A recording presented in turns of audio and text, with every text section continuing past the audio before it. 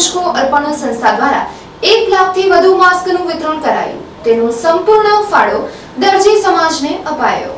તારીખ ચોવીસમી એપ્રિલથી જ્યારે લોકડાઉન જાહેર કરવામાં આવ્યું છે, ત્યારથી માધાપરની તેરા તુજકો અર્પણ સંસ્થા દ્વારા જે માસ્ક વિતરણ કરવામાં આવ્યા છે, તેનું સંપૂર્ણ યશ દરજી સમાજને જાય છે.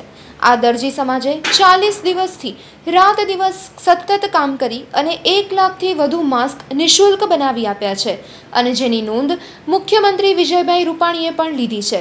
અને વીડિયો કોન્ફરન્સ મારફતે દરજી સમાજને અભિનંદન પાઠવ્યા હતા. ત્યારે આજે કચ્છ કલેક્ટર અને રાજ્યમંત્રી વાસણભાઈ આહિર દ્વારા એક અભિવાદન પત્ર પણ તેઓને અર્પણ કરાયું હતું અને આ ઉપરાંત દિલીપભાઈ ત્રિવેદી દ્વારા રૂપિયા એક લાખનો ચેક પણ અર્પણ કરવામાં આવ્યો હતો. નીતિનભાઈ પરમાર. પણ અમે માસ્ક બનાવ્યા એ બદલ અમને કલેક્ટર સાહેબ અને વાસણભાઈ અને સન્માન અમારું કર્યું છે, એ બદલ અમે એમનો ખૂબ ખૂબ આભાર માનીએ છીએ. આ એક અમને લાખ રૂપિયાનો ચેક પણ અર્પણ કરવાનો આવ્યો છે. અત્યાર સુધી લાખેક ઉપર અમે માસ્ક બનાવી આપ્યા છે અને બધા વિતરણ કરી આપ્યા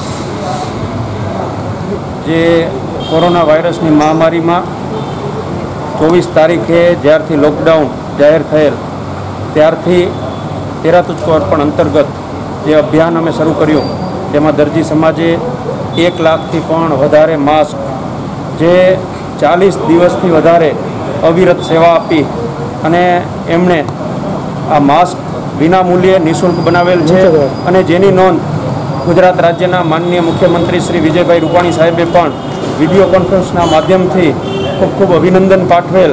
ત્યારે આજે ગુજરાત રાજ્યના માનનીય મંત્રી શ્રી વાસણભાઈ આહિર સાહેબ તેમજ માનનીય કલેક્ટર મેડમ દ્વારા દરજી સમાજને એક અભિવાદન પત્ર અને સન્માનપત્ર આપવામાં આવ્યું. તેમજ જે કચ્છ જિલ્લા ભારતીય જનતા પાર્ટીના પૂર્વ અધ્યક્ષ શ્રી દિલીપભાઈ ત્રિવેદી તરફથી એક લાખ રૂપિયા રોકડ પુરસ્કાર પણ દરજી સમાજને આપવામાં આવ્યો. ત્યારે દરજી સમાજે પણ આ સમગ્ર રાજ્યના મુખ્યમંત્રીશ્રીએ નોંધ લીધી. ત્યારબાદ રાજ્ય સરકારના મંત્રી શ્રી વાસણભાઈ આહિર અને કલેક્ટર શ્રી અને દિલીપભાઈ ત્રિવેદી એમનો પણ આ તેરા તુચકો અર્પણ અભિયાન તેમજ દરજી સમાજ વતી ખૂબ ખૂબ આભાર વ્યક્ત કરું છું. અને આવી અવિરત સેવા જે છે, એ સતત સાઠ દિવસથી ચાલુ છે અને જેમાં તેરા તુચકો અર્પણ અંતર્ગત જે અભિયાન છે, એ બે લાખથી પણ વધારે માસ્ક વિતરણ થઈ ચૂક્યા છે. અને હજી ટૂંક સમયમાં જે છે, એ ભુજ શહેર માટે પણ નવું અભિયાન શરૂ થઈ રહ્યું છે. તેની પણ આવતા દિવસોમાં અમે આપને માહિતી આપશું.